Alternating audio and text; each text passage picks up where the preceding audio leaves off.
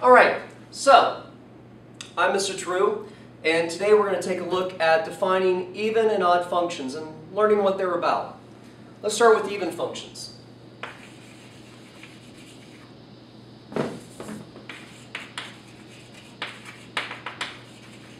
Okay, get that out of the way. Even functions. Let me give you a couple of pretty basic examples.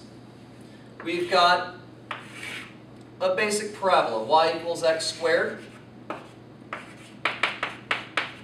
We have an absolute value function. I'm going to keep this nice and as simple as possible anyway. That's y equals the absolute value of x. All the absolute value graphs are going to come out in a V shape. And a little bit of a trig example here. We've got y equals the cosine of x, which looks something like this. You might notice that all these visually has something in common. I'll point that out in a minute. Let's first look at some numbers.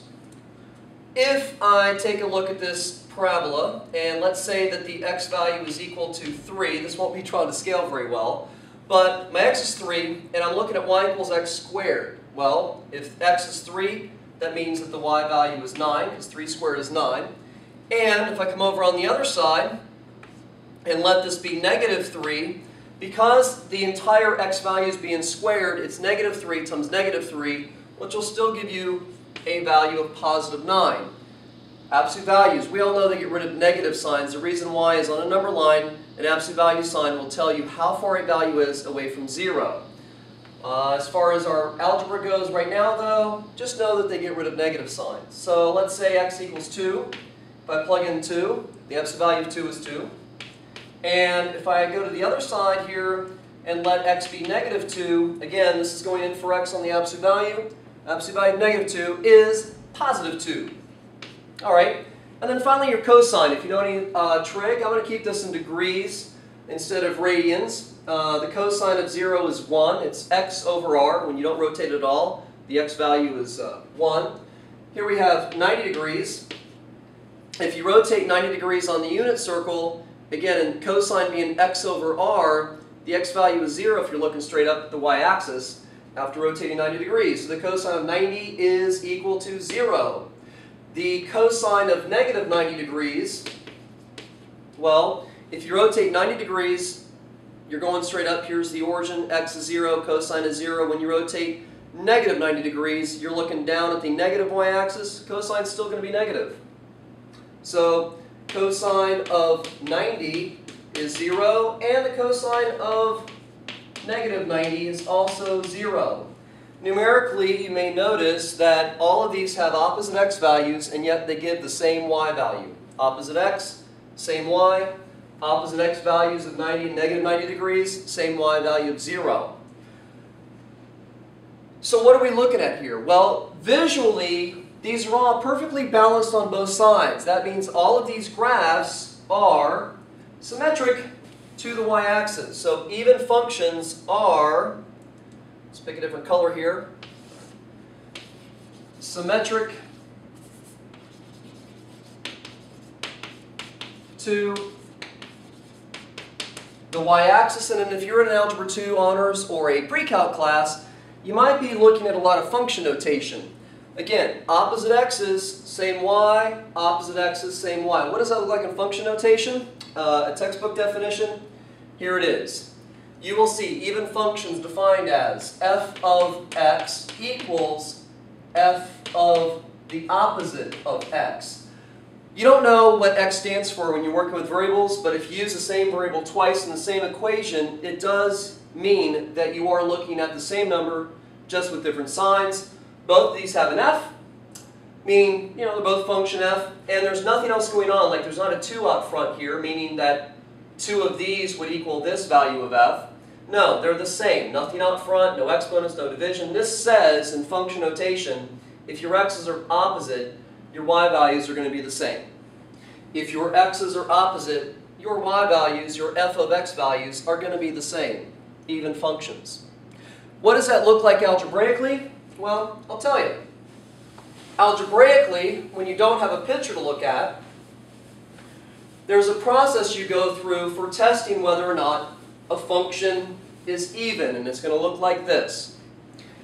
f of x is equal to 4x to the fourth plus 2x squared. Now let's make that a, an odd number, like just 1x or eh, we'll leave it like that. If you want to test to see if an equation is even, what you do is, keeping that idea of those positive and negative x's you saw a second ago, or the opposites, we're going to plug in negative x, see what happens.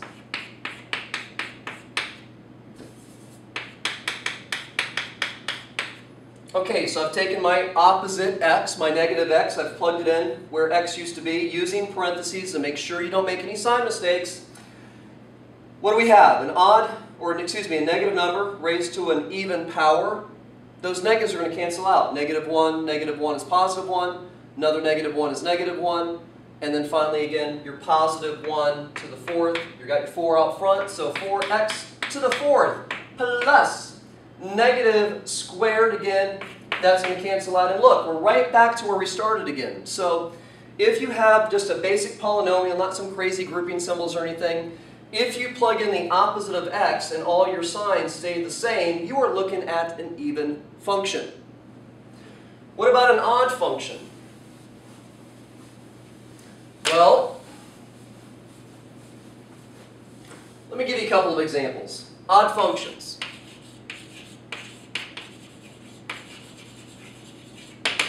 Like just a basic line.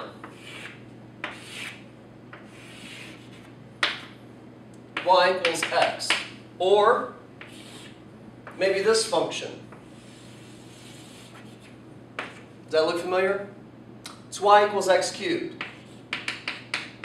Or if you're doing some basic trig, you might see this graph, which is the sine function. Kind of got a little lopsided there. What's going on here? Well, if I let x equal 3, my y is 3, because it's just y equals x with the same value. And over here, if I let x equal negative 3 and y equals x, well, I get negative 3 because, again, the x and the y's based on the equation says that they're the same. Over here, with your cube function, if I let x equal, let's say 2. 2 cubed is 8. Come over here, talk about maybe let x equal negative 2. Well, if I use negative 2, again, in parentheses, if you're writing this out, negative 2 cubed is negative 2 times negative 2 times negative 2, negative 8. You might notice a comparison between these numbers and what we had before. This is going to represent, or is, y equals sine of x. What's going on here? Well, again, we're going to keep these rotations in, deg in degrees instead of radians. Uh, if we go to 90 degrees on the unit circle, if you rotate 90 degrees, sine is y over r. So if you rotate 90 degrees, the y value is 1. You're right above the origin. So the sine of 90 is equal to 1. Rotate negative 90 degrees. By the way, those are, that is pi over 2 and negative pi over 2 if you're doing radians. If you rotate negative 90 degrees, now you're going down. Your y value is going to be negative 1. So we have 91 and negative 90, negative 1. What's the difference? These all have opposite x's, and instead of the same y, these opposite x values give you y values that are opposite. So, odd functions are defined in this format. f of x equals the opposite of f of negative x.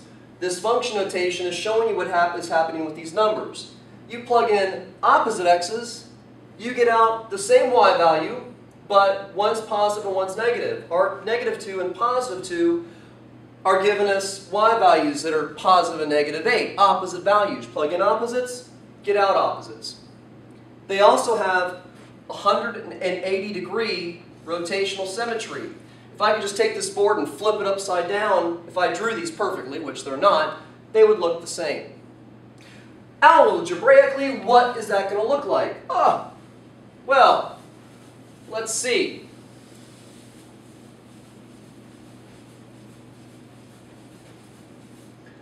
Here is an example, y equals 3x cubed plus 2x. Take that, uh, function notation. Pardon me. We're going to plug in that negative x. f of negative x is equal to 3 times negative x to the third power plus 2 times negative x. Now we have odd powers, not even powers. Those negatives are not going to cancel out. So negative 1 to the third is negative 1, giving us negative 3x cubed. Negative 1 times negative, uh, positive 2 is negative 2x. Now look, before, when it was even, all the signs changed. Now, that term was positive, now it's negative. Same with the last one, positive term and a negative term. Because all the signs changed, it's a basic polynomial, because all the signs changed, we have an odd function. Now, I didn't give you a non-example with the even function, but if we come in here and change the example, maybe make it a power of 2, that even power is going to take my negative x and keep it positive. Negative x squared is positive x. With the 2, is going to leave that as a positive 2x.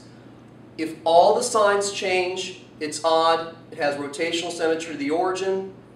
If the equation comes back and it's exactly the way it was before, that was a previous example, then it's even. That's symmetry to the y-axis. If some change and some don't, well, it's neither. So there you go, even and odd functions. Bam!